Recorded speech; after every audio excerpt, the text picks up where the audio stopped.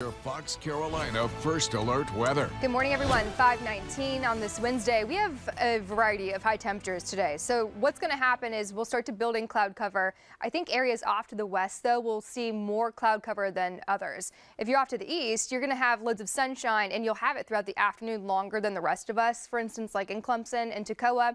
Therefore, temps are going to range quite a bit. 60s are likely a high of 61 degrees in Union today for areas like Laurens, the 60s, Greenwood, Prosperity 65 due to the sunny skies, where some will be in the 50s, a low to mid 50. 50s will continue today across the region for most, and then tomorrow will be a bit warmer underneath this warm front.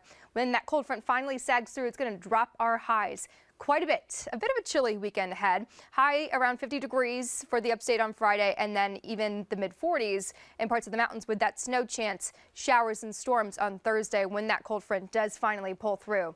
We have had high pressure the last couple of days. We can thank it for the beautiful conditions that we had. Still going to be mainly dry today, but building in that cloud cover. This nice little stream coming in from the Gulf, you can see, up towards us here in Memphis and then over to Greenville later on today. Mainly this afternoon and evening.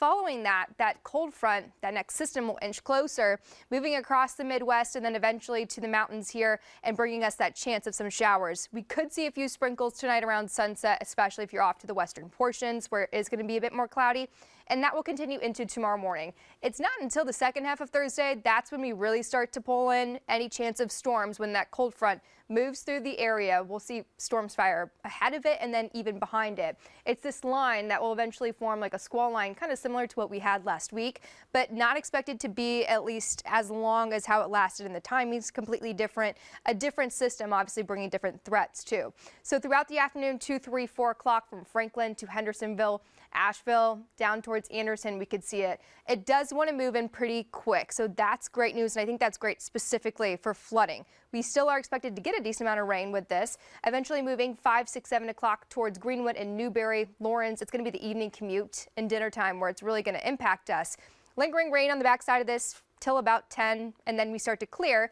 But if you are in areas like the mountains closest to Tennessee, you have that chance of getting some resurgence, some snow showers with this at least through Friday evening. What we're looking at for threats with this. Heavy rain is going to be number one. Torrential downpours, you'll certainly hear that. The thunder, a little bit of a lightning show.